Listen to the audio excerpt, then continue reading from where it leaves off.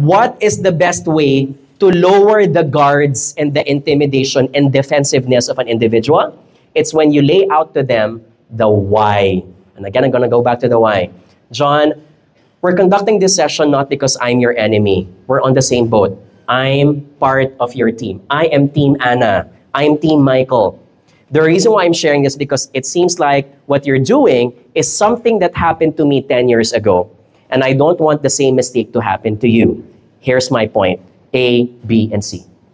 So in this technique, you lay out the cards. In this technique, you share the reasons why the person needs to change. Again, common sense, but it isn't common practice. We tend to forget why we need to explain to the person that a session on feedback needs to happen.